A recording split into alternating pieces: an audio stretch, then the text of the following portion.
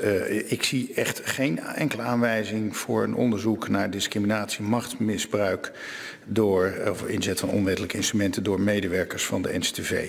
Dus die moet ik echt uh, ontraden. Vraag van mevrouw Simons over, ik denk, motie 9. Dat klopt, voorzitter. Als wij toch lezen dat medewerkers van de NCTV zelf verklaren dat zij uh, te maken hebben met collega's die achter elke boom een salafist zien, dan denk ik dat dat op zichzelf, en dat is maar één quote uit het artikel, uh, genoeg reden is om te kijken uh, hoe het daar gaat bij die organisatie.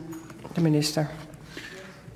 Ja, voorzitter, ik heb het uh, citaat waar mevrouw Simons naar verwijst uh, gelezen. Maar ik zie daar echt in, ik, ik, ik herken daar helemaal niets in van hoe niet alleen de NCTV als organisatie functioneert, maar ook hoe daar de mensen zich inhoudelijk en professioneel opstellen. En ik vind wel dat ik wat meer moet hebben dan één quote van iemand nogal in straattaal uh, gezegd van achter elke boom. Uh, los van het kwalijke karakter. Hè, als, als dat Voorzitter. Is. Maar daar, daar ga ik geen onderzoek Het is de minister die aan het woord is. Ontraden. Voorzitter, de motie vraagt niet of de minister er brood in ziet omdat iemand een opmerking heeft gemaakt. We hebben net een debat gevoerd waarbij heel veel voorbeelden zijn gegeven. En ik zei net in dit voorbeeld, ik geef er maar één. Maar we hebben vandaag heel veel voorbeelden gesproken die volgens mij echt aanleiding geven om naar de cultuur in die organisatie te kijken. Ik snap, en ik snap best dat de minister dat ingewikkeld vindt. Maar dan wil ik ook heel graag weten, wat is er in vredesnaam wel voor nodig om een keer te zeggen, ja zo is het wel genoeg.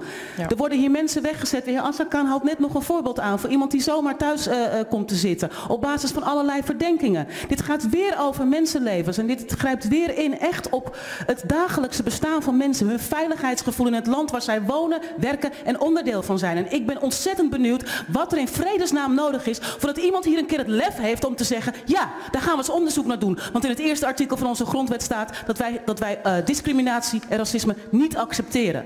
Ik ben echt ontzettend benieuwd wat er dan wel moet gebeuren voordat deze minister overtuigd is van het feit dat we gewoon eens een paar vragen gaan stellen. Ik vraag nergens om veroordeling, ik vraag niet om ont ontslag, ik vraag er gewoon om, kijk nou eens een keer naar die organisatie en haar handelen. Daar hebben mensen last van.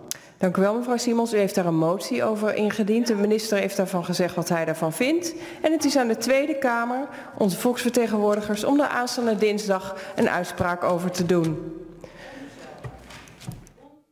Dank u wel. Ja, dat mag u vinden. Dat vind ik ook en dat zeg ik ook. Maar de minister kan ook zeggen. Ja, het debat is gevoerd. Het debat is gevoerd, mevrouw Simons. Uh, ik dank de leden van de Kamer voor hun uh, betrokken uh, bijdrage aan het debat over de werkwijze van de NCT.